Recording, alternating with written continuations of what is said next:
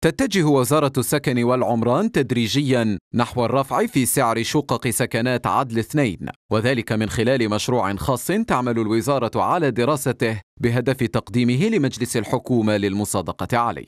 هذه الزيادات المتوقعة في سعر شقق سكنات عدل في نسختها الثانية تأتي عقب الزيادات البالغة التي عرفتها مختلف مواد البناء في الأشهر الأخيرة خاصة الإسمنت والحديد.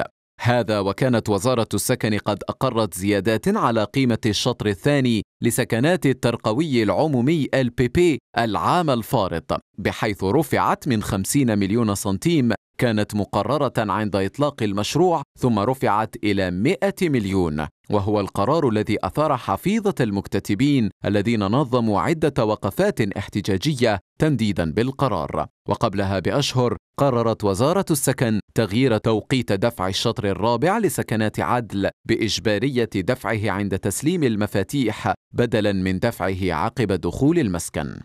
هذه التغييرات والزيادات في أسعار الشقق التي أصبحت وزارة السكن تقرها من حين لآخر بعثت مخاوف وتساؤلات عديدة في نفوس المكتتبين لتحملهم التبعات المالية لتلك الزيادات خاصة في ظل الارتفاع الكبير للمعيشة وتكاليفها زمن الأزمة المالية التي تعيشها البلاد وتأثيرها المباشر على حياتهم. وعكست تلك القرارات التصريحات التي أطلقها سابقا وزير السكن والعمران عبد المجيد تبون الذي أكد ذات مرة من العام 2015 أن المكتتب بإمكانه أن يقاضي الحكومة في حال أخلت وزارة السكن بالعقد الذي أبرمته مع المكتتبين. فهل يعلم تبون أنه أخل بالعقد ويدرك تبعاته؟